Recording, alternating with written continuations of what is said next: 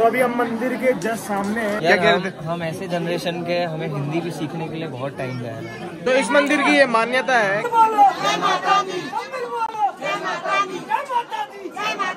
बोल की what's good morning everyone तो कैसे हो सारे? आई होप सारे बढ़िया होंगे। तो आज शूट का लास्ट दिन है। तो अभी सुबह के पाँच बज रहे हैं और हम जा रहे हैं पूर्णागिरी टेंपल मैं भी फ़र्स्ट टाइम जाऊँगा, आप लोगों को भी दिखाऊँगा।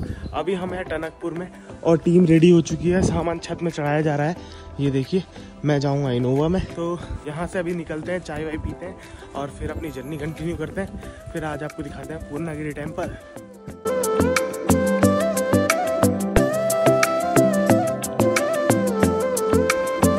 पूर्णागिरी की पार्किंग में पहुँच चुके हैं और यहाँ से हमें ट्रैक करके जाना है। तीन किलोमीटर ट्रैक है और काफ़ी अच्छा लग रहा है यहाँ पे ठंड लग रही है।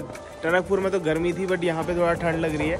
और यहाँ से हमारी गाड़ियाँ यहाँ तक आई है यहाँ से हमें पैदल जाना है। तो यहाँ से हम ट्रेवल स्टार्ट करने वाले हैं। तीन किलोमीटर की जर्नी और सर लोग भी हमारे साथ जाने वाले हैं।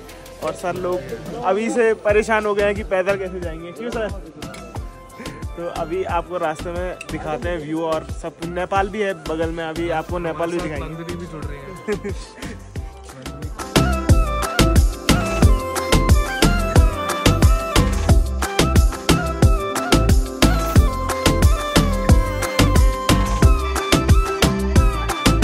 तो हमारे इतने दिनों के पार्टनर हमारे पंकज सर तो आज ये ही गाइड करेंगे और इनके साथ जब से मैं आया हूँ मेरे हर मंदिर में इतने अच्छे दर्शन हो रहे हैं क्योंकि पहले हम पूरी गाइडेंस ले रहे हैं और उसके बाद दर्शन कर रहे हैं। तो, तो ये पूरा रास्ता है स्टेयर्स वाला वैष्णो देवी की तरह। और वैष्णो देवी का फील आ रहा है। पूरा पूरा रास्ते को दिखाओ। दिखा अपने आप नहीं रास्ता तो दिख रहा होगा ना पीछे। कैसे दिख रहा होगा? देख अभी दिखाओ। क्लियर दिखाओ ना। ये है पूरा रास्ता। ऐसे बनाना चाहिए। एक्सपीरियंस कराओ अपना शक्ल में दिखाओ ये रहा प्रवेश द्वार माता श्री पूर्णा देवी मंदिर का। तो यहाँ से आपको सीढ़ियाँ चढ़नी है। सब लोग थक गए हैं।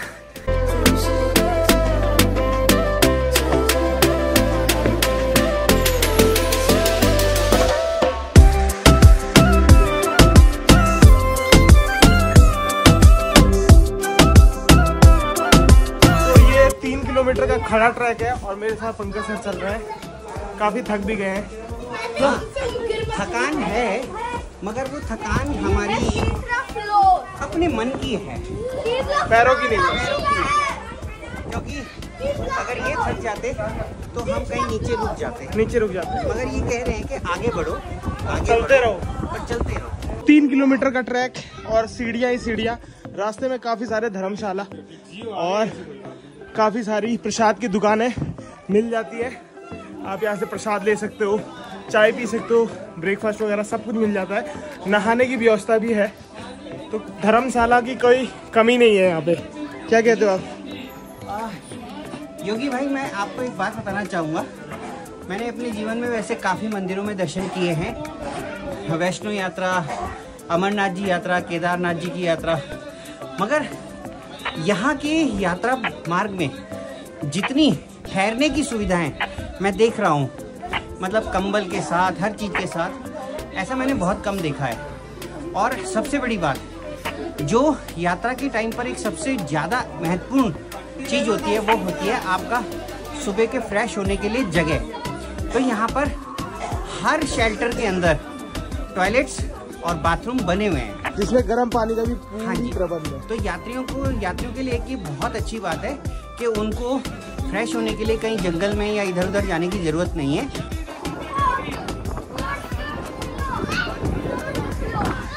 तो अभी रास्ते में श्रद्धालु मिले हैं हमें तो इनसे पूछते हैं कैसा एक्सपीरियंस रहा नीचे से ऊपर चढ़ने का? अच्छा मगर प्रसाद के मामले में नीचे से पूरा बिज़नेस चलता बिज़नेस चलता आ रहा सारा तो ये इस चीज़ से आप लोगों को दिक्कत है?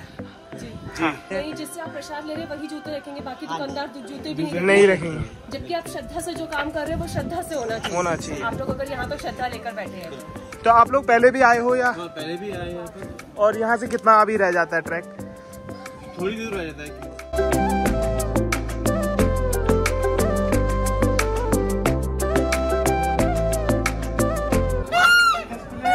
चढ़ाई कंप्लीट करके हम मंदिर के पास पहुँच चुके हैं। ये रहा सामने मंदिर। जय माता दी। और यहाँ से आप नज़ारे देख सकते हो। ये पूरा व्यू पॉइंट है।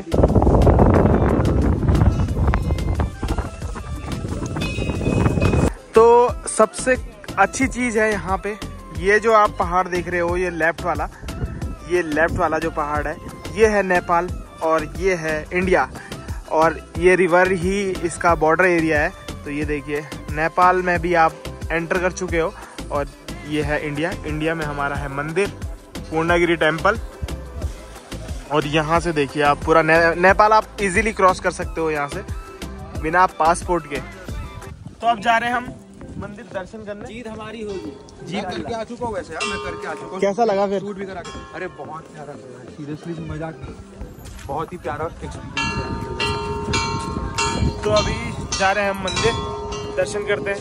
देखिए भक्तजनों की इतनी लंबी कतार है यहाँ पे।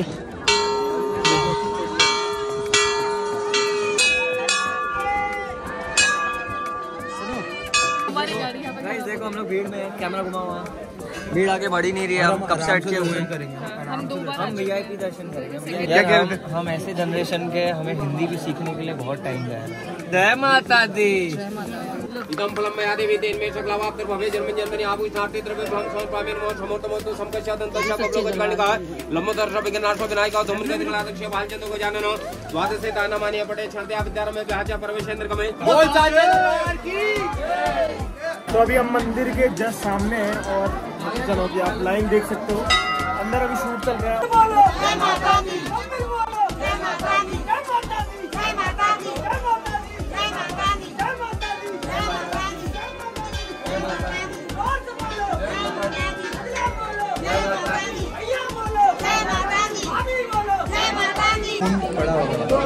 तीनों के बहुत अच्छे दर्शन हो चुके हैं। जय माता दी।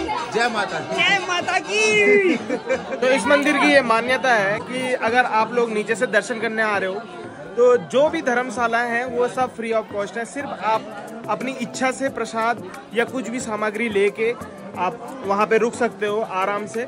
और ये है यहाँ के चार महीने यहाँ मेला चलने वाला है। तो भगवान बुलाएँगे तो हम दोबारा ज़रूर आएँगे। इसी बीच आपको एक और नज़ारा दिखाना चाहता हूँ।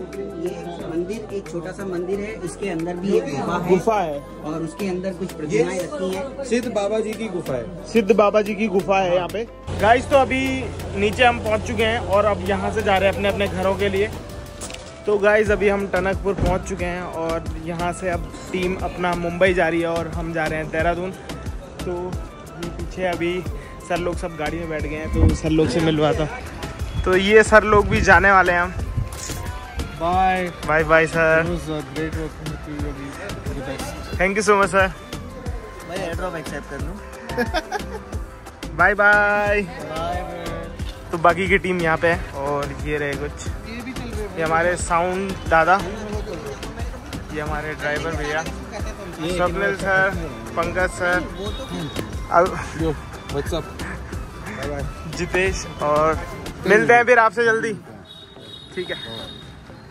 आप तो हमारे साथ कंटिन्यू हो ना? Bye bye bye bye bye bye मिलते हैं मिलते हैं। शूट अब खत्म हो चुका है मज़े आ चुके हैं पूरे शूट में यार बहुत मस्ती। का- मस्ती की है, guys। दिन से ट्रैवल जो कर रहे थे डिस्कवरी के लिए बहुत मज़ा आया सीरियसली और मज़ा आएगा और आगे और शूट्स करने वाले हैं और जल्दी।